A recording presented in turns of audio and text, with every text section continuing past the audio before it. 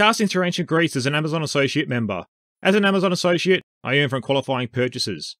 What this has allowed me to do is recommend books to you guys that are relevant to the episode I am presenting. The books I will be recommending, I have read myself and made use of during writing the series. If you are interested in purchasing what I've recommended, using the link of the book on the episode page of my website will help support the series with providing me a small commission. For this episode, I'm going to recommend The Gods of Battle The Thracians at War by Chris Webber.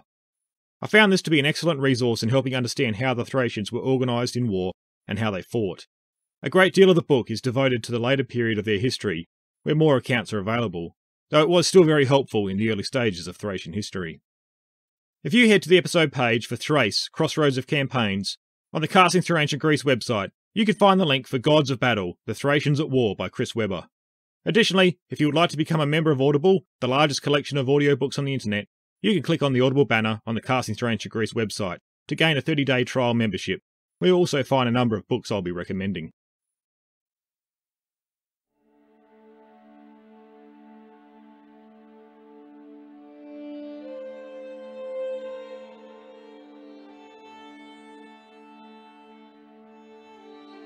For the Thracian race, like all the most bloodthirsty barbarians, are always particularly bloodthirsty when everything is going their own way.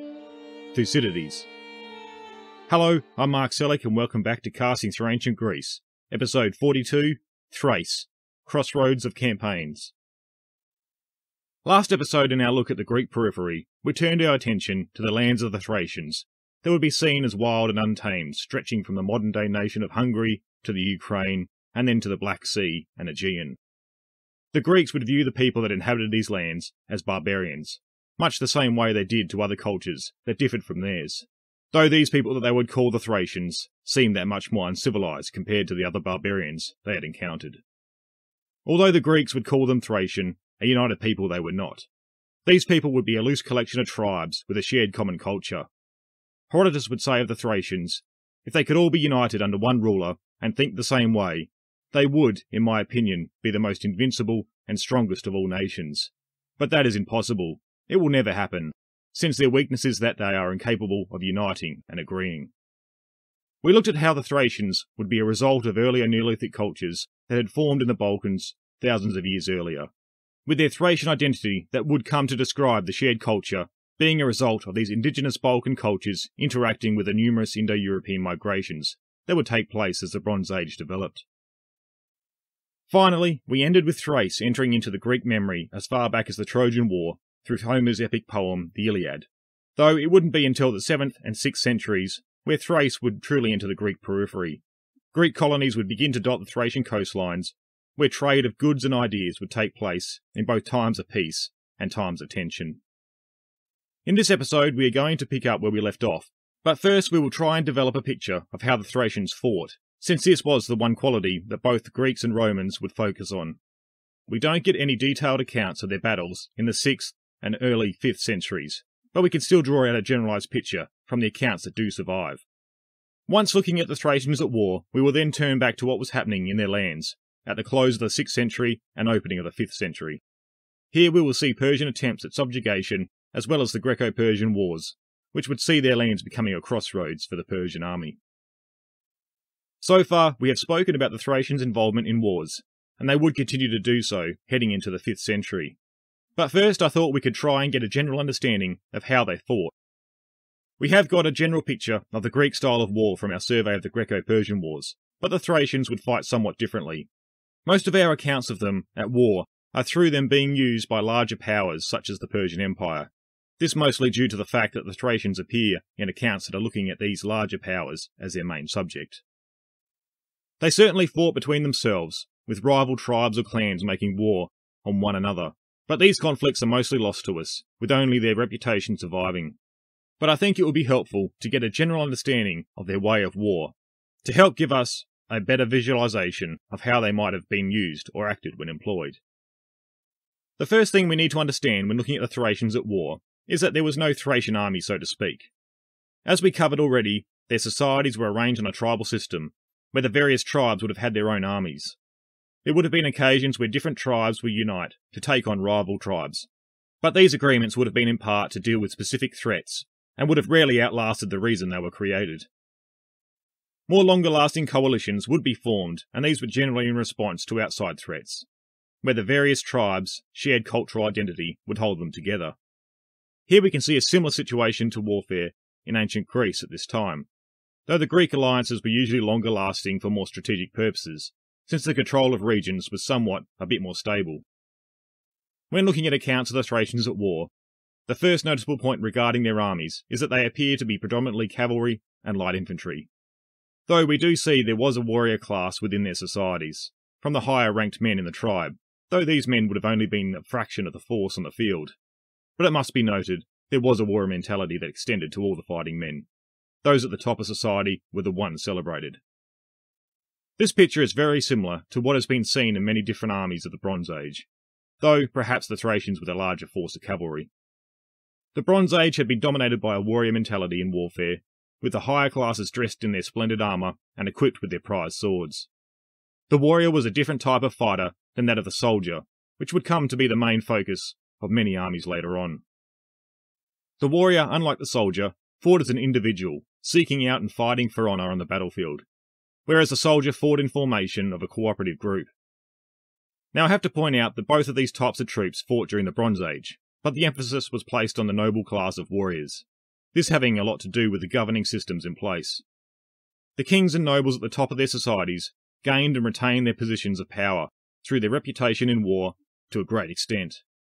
We see a similar idea taking hold during the Middle Ages later in history. Though, for the most part, the armies of the Bronze Age were the lower elements of society, being lightly armed skirmishers as well as missile type troops. Though the accounts always have these masses of troops playing second fiddle to the warriors. While the Greek world had gone through a revolution in warfare in the centuries after the Bronze Age collapse, it had been seen that the Thracians still had a very similar approach to warfare as the Bronze Age, this perhaps more prevalent when fighting on their own behalf, rather than as part of a foreign army. The warrior notion was still very much celebrated in the Archaic period and beyond. Much like the elaborately adorned graves of the Mycenaean warriors, examples of similar types of burials can be found at a number of grave sites in the Thracian lands, dating to much later times, with these celebrating individual Thracian warriors. So as we pointed out, the Thracians fielded a much larger proportion of their army as cavalry, compared to other armies of the time. For the most part, these were lightly armed troops, typically unarmoured and armed with javelins. Though we do know that there were examples of heavy cavalry as well. These were armed in a very similar way as their light counterparts, but wore armour. This included cloaks, breastplates, and helmets, thought to be very similar to examples of Greek and Scythian cavalry. It is difficult to see how this came to influence Thracian cavalry, since the Scythians were right up on the northern borders of Thrace, while Thessaly, known for their cavalry, was the closest Greek territory to Thracian lands. But we need not to overemphasize Thracian heavy cavalry, as it appears that were only used in small groups, making up a bodyguard, rather than fighting on the field. Most of the references to Thracian cavalry that do come down in the sources refer to the more numerous light horsemen. A lot of our imagery of how the Thracian cavalry fought comes to us on Athenian pottery and even on the friezes of the Parthenon. This also attesting to the reputation of the Thracian cavalry.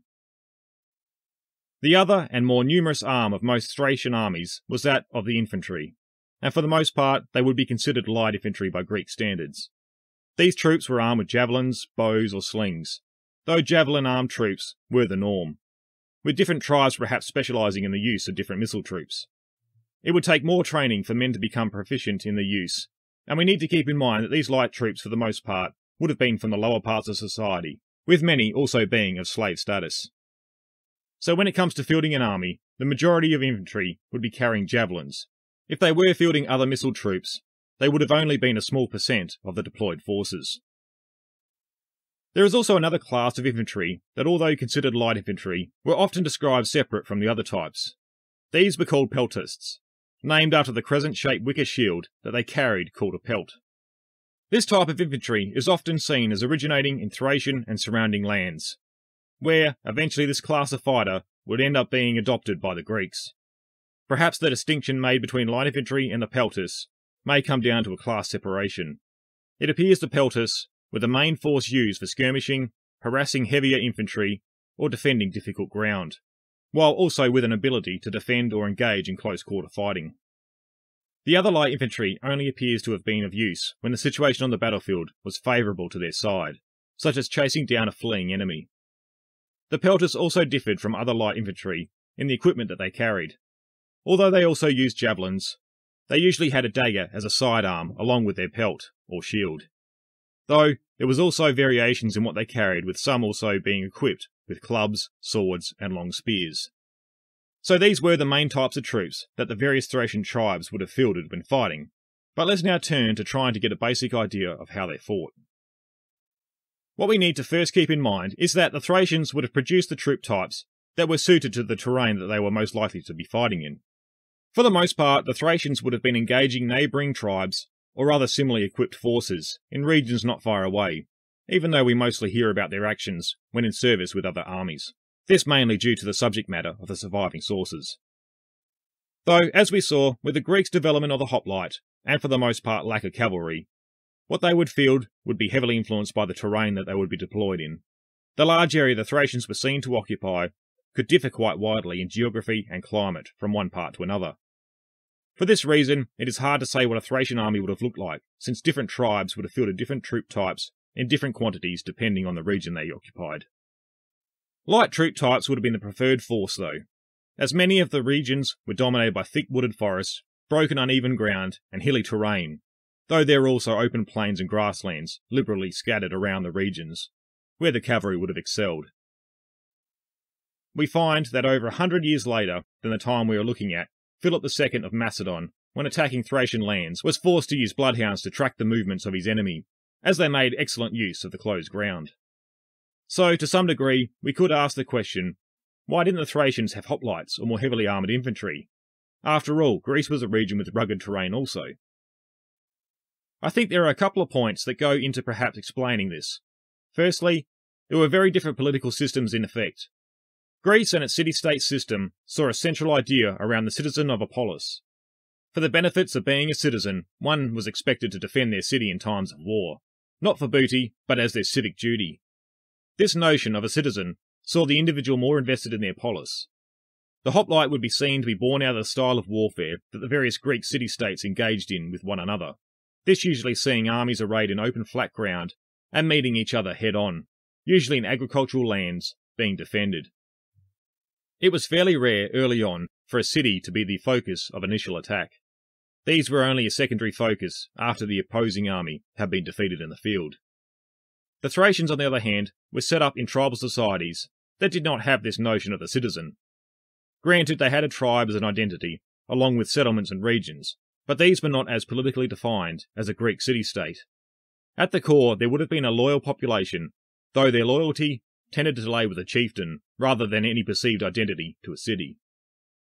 The chieftain would still have to negotiate with other leaders of the tribe in other settlements to come together this wasn't a simple call to arms expecting one's citizens to fulfill their civic duty.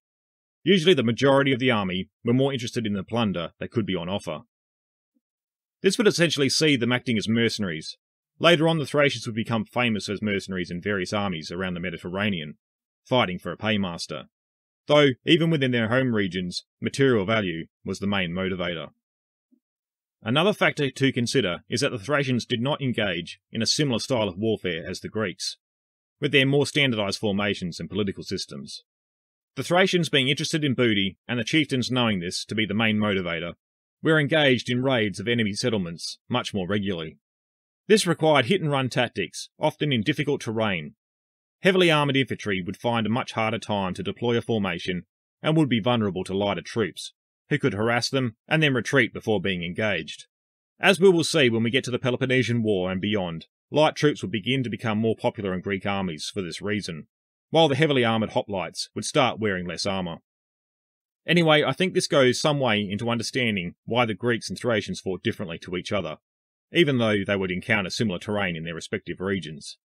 The Thracians were set up to be mobile, where they could quickly engage when the conditions were favourable while then being able to quickly evaporate into the rough terrain, where an organised formation would not be able to pursue them with any sort of order.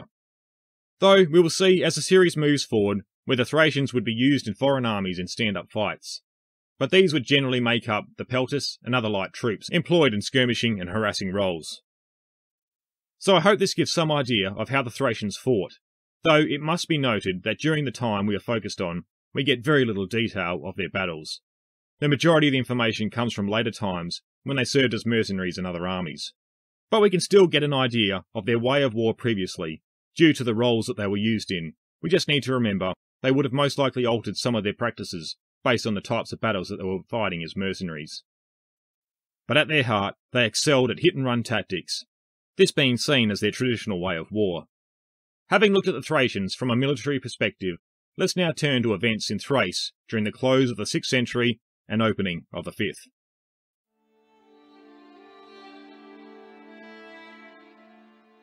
Since 1998, Stamps.com has been an indispensable tool for nearly 1 million businesses. Stamps.com brings the services of the US Postal Service and UPS shipping right to your computer. Whether you're an office sending invoices, a side hustle on Etsy shop, or a full blown warehouse shipping out orders, Stamps.com will make your life easier. All you need is a computer and a standard printer. No special supplies or equipment. Within minutes, you're up and running, printing official postage for any letter, any package, anywhere you want to send. And you'll get exclusive discounts on postage and shipping from USPS and UPS. Once your mail is ready, just schedule a pickup or drop it off. No traffic, no lines. Cut the confusion out of shipping with Stamp.com's new Rate Advisor tool. You can compare shipping rates and timelines to easily find the best option. Save time and money with Stamps.com. There's no risk, and with my promo code POD, P-O-D, you get a special offer that includes a four-week trial plus free postage and digital scale. No long-term commitments or contracts. Just go to Stamps.com, click on the microphone at the top of the homepage, and type in POD, P-O-D. That's Stamps.com, promo code POD. Stamps.com, never go to the post office again. Have you been enjoying the series and want to show your support in some way? You can visit www.castingthroughancientgreece.com and click on the Support the Series button. Here you will find many ways you can help the series grow, from subscribing, getting involved in social media, and leaving reviews where you listen to your podcasts. Other options also include assisting with my Amazon wishlist for resources and supporting the series on Patreon and Buy Me a Coffee. The support I have been receiving so far has been fantastic. So a big thank you to everyone who has been helping me grow the series.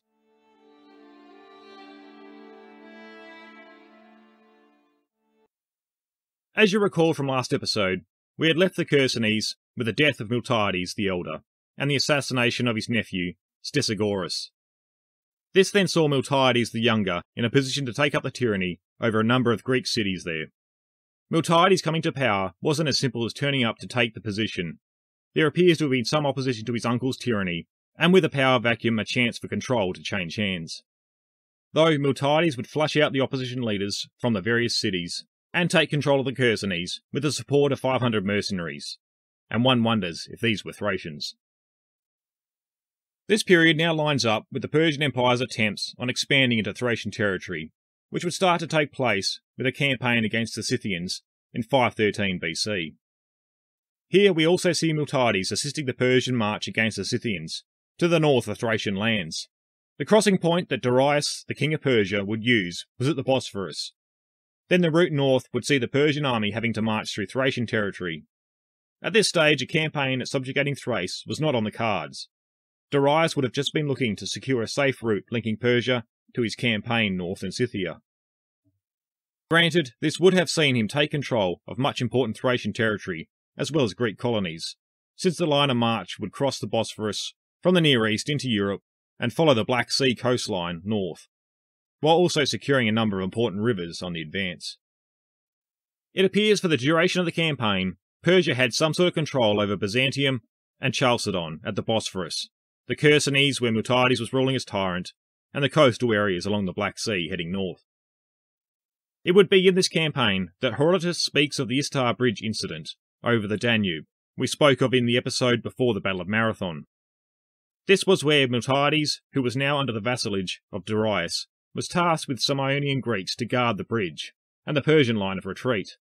Miltiades had argued that they should dismantle the bridge, thereby trapping the Persians in hostile lands, though the Greeks hedged their bets and only removed parts of the bridge.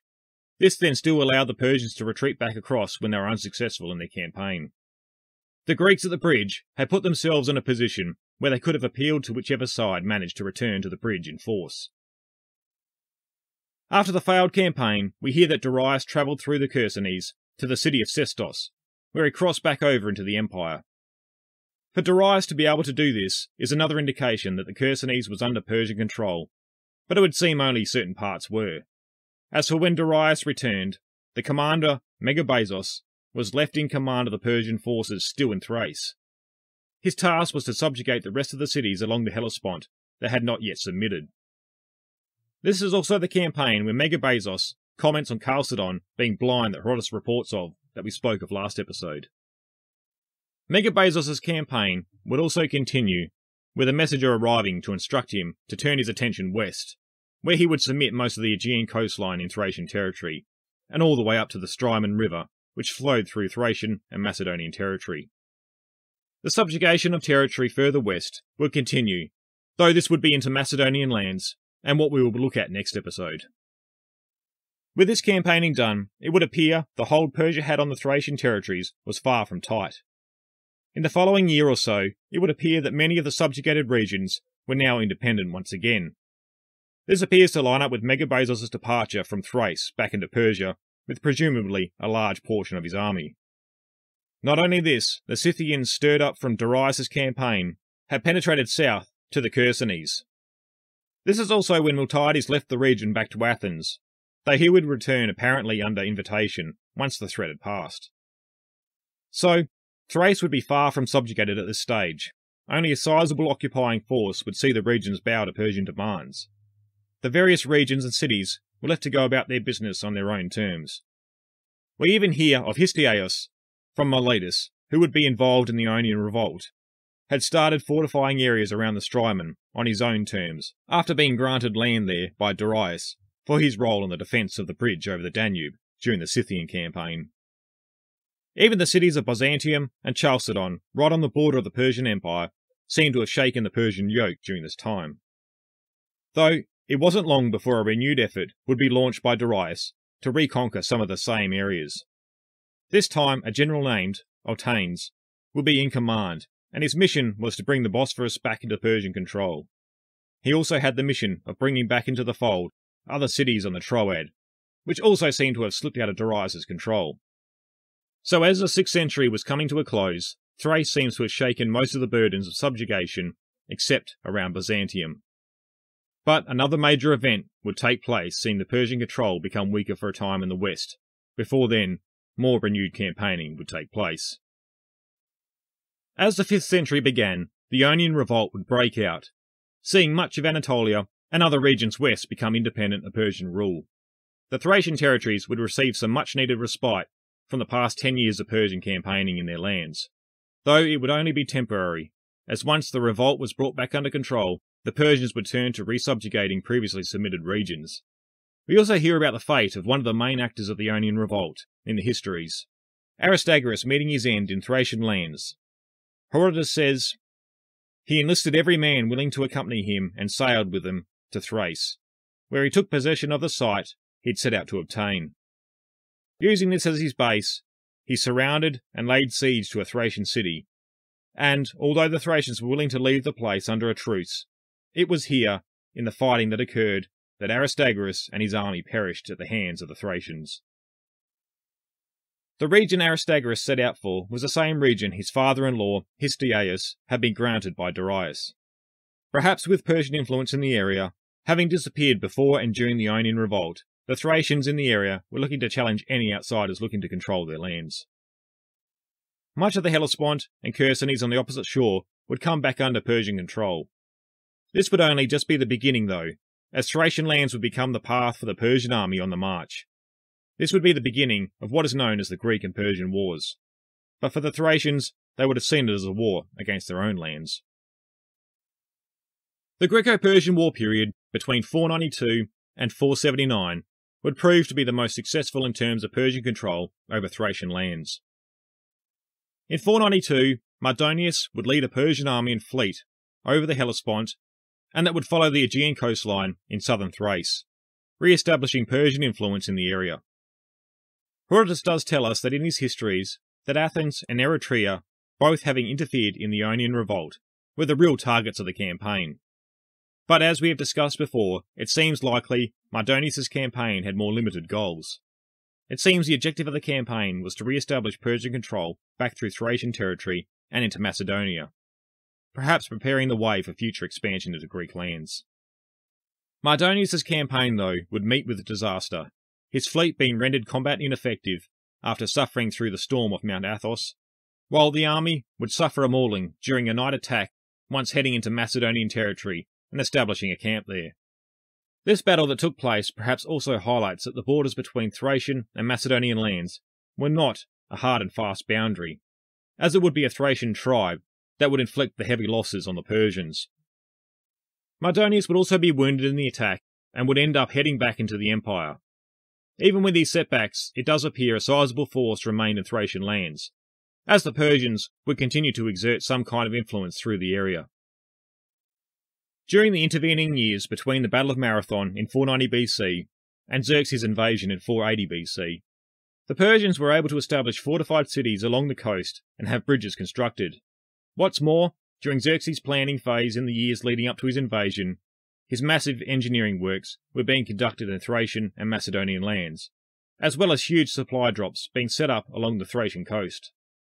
If these lands were not under some sort of Persian control at this time, conducting these activities over a number of years would have been impossible. Having said this, though, not all Thracian lands were controlled by Persia. The lands they did control were governed by the cities of Sestos, Eion, and Doriscos, all coastal cities, indicating that the interior of Thrace remained untouched from Persian rule. This would be the period that probably saw the tightest control that Persia would have over these Thracian regions. When Xerxes launched his invasion, a great many Thracians would take part in the march against Greece. It is hard to know exactly how many were part of Xerxes' army, as the numbers given seem very high, being more than what the modern estimates for Xerxes' entire force was. Though to say the Thracians were willing participants was far from reality. We find in Herodotus the burden Xerxes' army put on various Thracian tribes as they passed through on the campaign. As soon as the citizens of a town heard the announcement proclaimed by the heralds, they all divided up their grain and then for many months ground it into wheat flour and barley meal. Furthermore, they fattened the finest livestock that money could buy and raised birds, both land birds in pens and waterfowl in reservoirs, all for the entertainment of the troops. This burden would have been tremendous, and we can imagine it would have probably caused a food shortage amongst the local populations. Herodotus records a remark made by one of the city's leaders being thankful that Xerxes did not make it his custom to take food twice each day. But again, this was when the Persians were marching through Thracian lands in force, and as Herodotus puts it, and in this way all the citizens were placed under intense pressure, but they nevertheless fulfilled the commands imposed on them. Though we also get accounts that point to some Thracian tribes not willing to be part of Xerxes' campaign. An example Herodotus tells us about not only shows a chieftain's unwillingness to submit, but also puts on display the warrior mentality of the Thracians, as well as their barbarous nature from the Greeks' perspective. A Thracian chieftain, the king of Crestonion and Bisaltae, did a particularly horrible deed. He refused to submit to Xerxes and fled inland to the hills of Mount Rhodope, and had also forbidden his sons to serve in the expedition against Greece. They, however, all joined up in the Persian army, either because they cared little about their father's orders or simply from a desire to see the war. All six of them came back safe, and their father, to punish their disobedience, gouged out their eyes. Once Xerxes' campaign stalled, and then Mardonius' defeat at Plataea weakened the Persian position, the Thracian regions would start to show signs of resistance. After the defeat of Xerxes' fleet at the Battle of Salamis in 480, Xerxes had decided to return back to the Persian Empire and leave command of the remaining Persian forces to Mardonius. The surviving elements of the Persian fleet were sent back to the Hellespont to protect the bridge for Xerxes' return. We have spoken about this in the past that Xerxes was concerned the Greeks would make for the bridges. Though another possibility could also be a factor. With the news of the defeat, the Thracians and the Chersonese may have been encouraged to break from the Persian yoke, in effect, creating another scenario seeing the path of retreat cut. When Xerxes did return back into the empire, we hear of two versions, both indicating the Thracian lands were not as tolerant to Persian occupation as what they had been at the start of the campaigning season. The first has Xerxes and his army retracing their steps through Thrace, back to Sestos, and finally over the Hellespont back to the Empire. The march home, though, would be in complete contrast to the advance.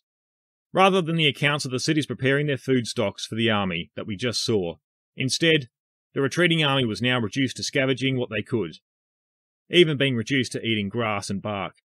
The conditions were that bad that plague even set in, and we hear of only a small fraction of the army making it back to Sestos with Xerxes.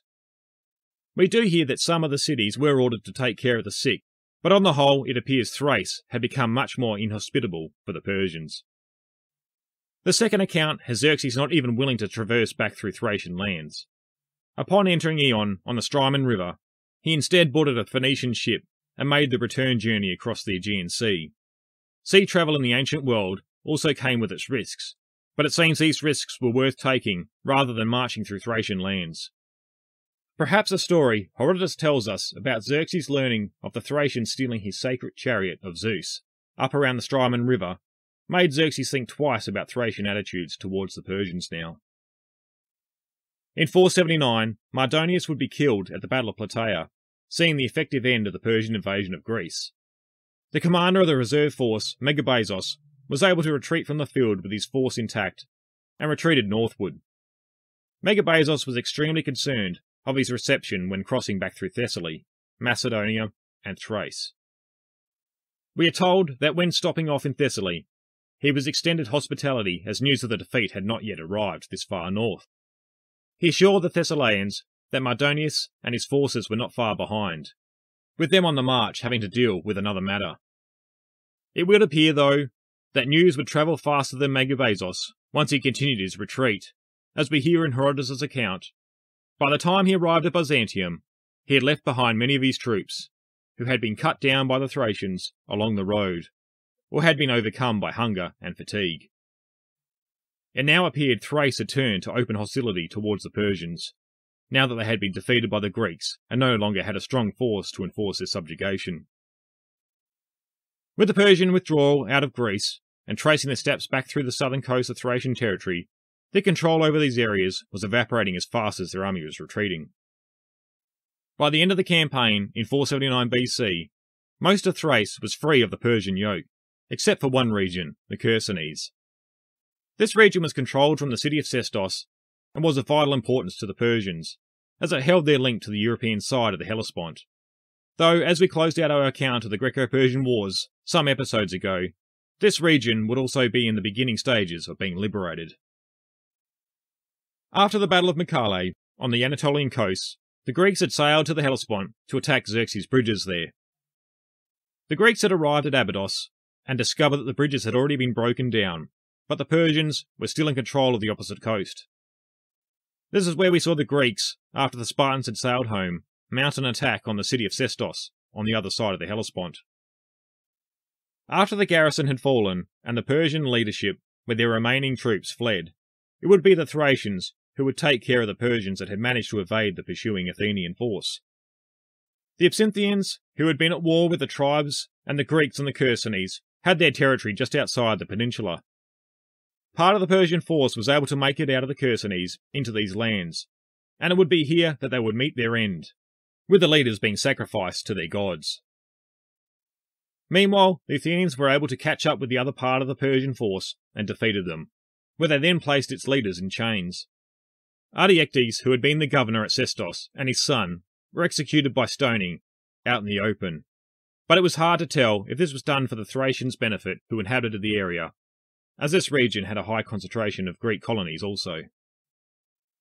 The liberation of Sestos marks a point in the narrative where we will leave our look at the region of Thrace. Like with Sicily, events would continue to take place in these lands. They would be part of the wider Greek world. As we will see when continuing our narrative of the series, continued campaigns would take place in this region. But I hope, now having looked at the Thracians over the last two episodes, we have built some deeper context than we had before. So when moving forward and seeing the Thracians in our account, we have a better understanding of who they were and where they came from. As you could see from the last two episodes, the early history of the Thracians is very hazy to say the least. They appear in later history much more, as they would come to be incorporated into different armies and as empires would campaign through their lands. These early stages we are left with the archaeological evidence that stands on its own or that helps support inferences made from later writers. Just on a side note, I want to say how doing these periphery episodes has been a great benefit to myself. These areas I have not been as familiar with from my past studies of Greek history. So, although it has been a bit more of a challenge, it has also been very rewarding being able to get a better hold on elements in the wider Greek world. Next episode, we will continue our look at the Greek periphery, but this time we'll be shifting our focus slightly westwards, into what would be Macedonian territory. Here I think we will find many similarities as what we found with early Thracian development, with tribal societies inhabiting these lands and multiple Neolithic cultures originating in the region, before Indo-European migrations would make their way in. The territories of the Thracians and Macedonians would often overlap with borders constantly shifting over time. Not that these borders were hard and fast political boundaries. Though I think we'll take a similar approach with our look at them getting some idea of how the Macedonians, if we can lump them in as a collective identity, would develop. Then we will turn to their interaction within a Greek world and how they, on the periphery of events in central Greece, would be involved in the wider picture. Thank you everyone for your continued support, and a big shout out to all those who have found some value in the series and have been supporting it on Patreon and other various ways. Your contribution is truly helping me grow the series. If you have also found some value in the show, and wish to support the series, you can head to www.castingthroughancientgreece.com and click on the Support the Series button, where you can discover many ways to extend your support to helping the series grow. Be sure to stay connected and updated on what's happening in the series, and join me over on Facebook or Instagram at Casting Through Ancient Greece, or on Twitter at Casting Greece. And be sure to subscribe to the series over at the Casting Through Ancient Greece website. I hope you can all join me next time for episode 43 The Greek Periphery, Macedon.